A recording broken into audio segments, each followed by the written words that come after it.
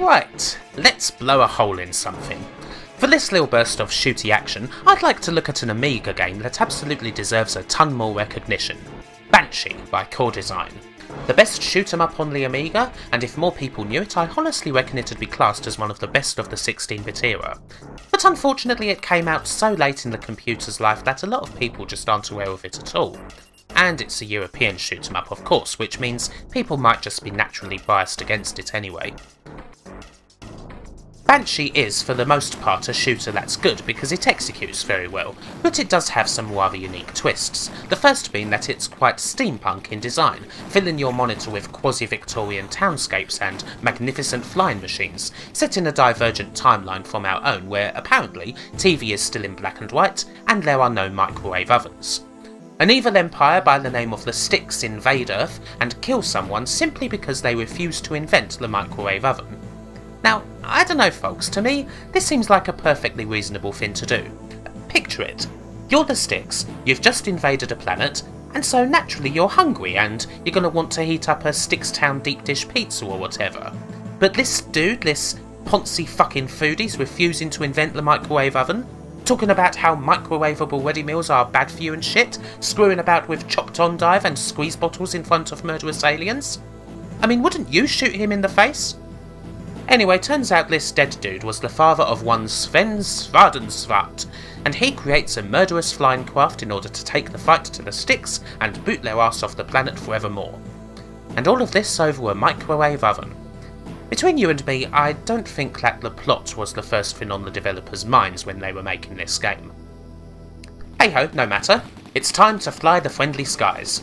And yeah, the main thing about Banshee is that it's just a really damn good shmup. It's got all the speed you could want, it's absolutely lovely looking, and yeah, it's a pretty vicious challenge too. There's only four levels in the game, but they're huge. One level here is easily the size of three regular shmup levels, and they'll take you to all sorts of fun places. The second level in the town is probably my favourite because of just the ride that you go on. Through the streets, through a train yard, to a graveyard where even the souls of the dead are with the sticks. There's lots of good shit, with lovely vicious effects, when the fog or rain sets in on some of the levels, it just looks amazing. One of the best looking Amiga games around. And being a computer game, unlike a lot of other shmups, this game is pretty damn violent. It gets even more violent with the addition of one of the most awesomely named cheat codes in existence. If you enter I am exquisitely evil on the main menu, things just get even nastier. Enemies blow up that little bit harder, with shots reducing them to skeletons, setting them on fire, or just blowing them to pieces. Ugh. Not only that, but there's poor innocents roaming the streets. Boom! Serves them right, honestly. I mean, let's face it, if you see the sky covered with airships, legions of soldiers firing into the skies, and think, hmm, looks like good conditions for a spot of fishing. Frankly, you deserve that hole in your chest, mate. You and the sticks can also help make an endangered species even more endangered. Yeah, this is a violent game is what I'm trying to get at.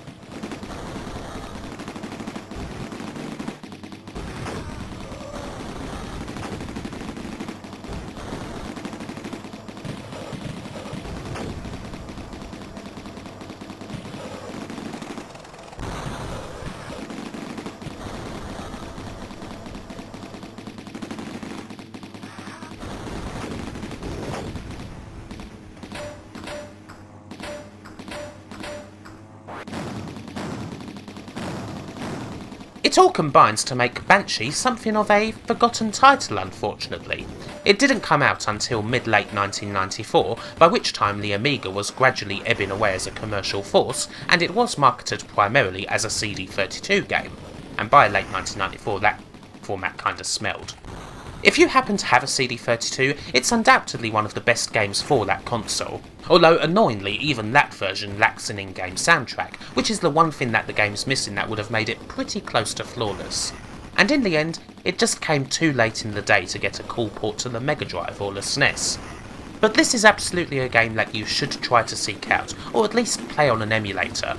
It's a bloody fantastic shmup, a late Amiga classic that deserves to be plucked out of the seas of obscurity. See you tomorrow.